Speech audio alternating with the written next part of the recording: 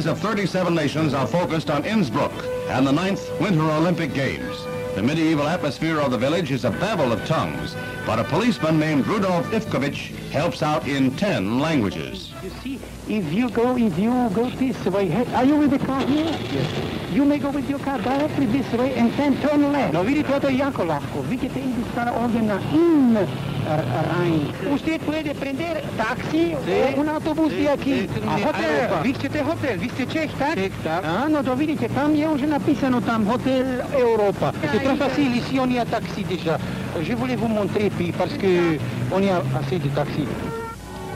First, there is the traditional Olympic pomp and pageantry, all of the symbolism of the games that are traced back to the Greeks who founded them in 776. Russians take an early lead in the international competition as they win the first gold medal in the pairs figure skating.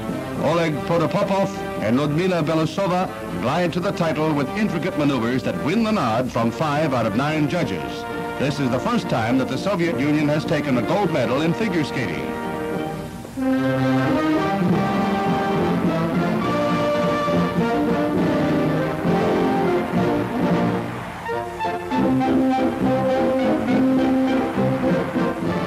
Husband and wife pair are a couple of happy champs.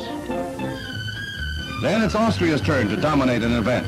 Egon Zimmermann sweeps down the Patscherkofel course in the men's downhill event.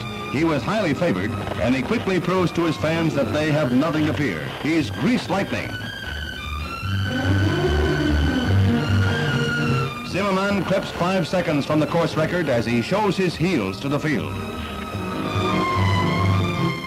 It's Great Britain that takes center stage. Tony Nash and Robin Dixon are the two-man bobsled team representing a nation that has won only two gold medals in the history of the Winter Olympics.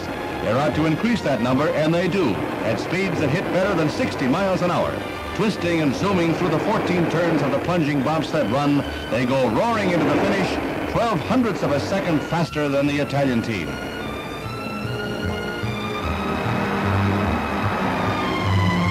United States hopes ride high on Jean Saubert in the women's slalom. The 21-year-old Oregon State University co-ed puts on a fine performance that has the international crowd rooting her on.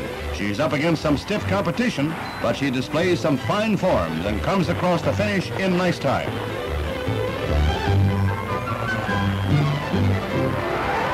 Then comes Christine Goitschel, representing France. In the slalom, she is competing against a field of 21 that includes her own sister, Marielle. It was Marielle who was favored to win, but this is the way that Christine noses her out by a split second.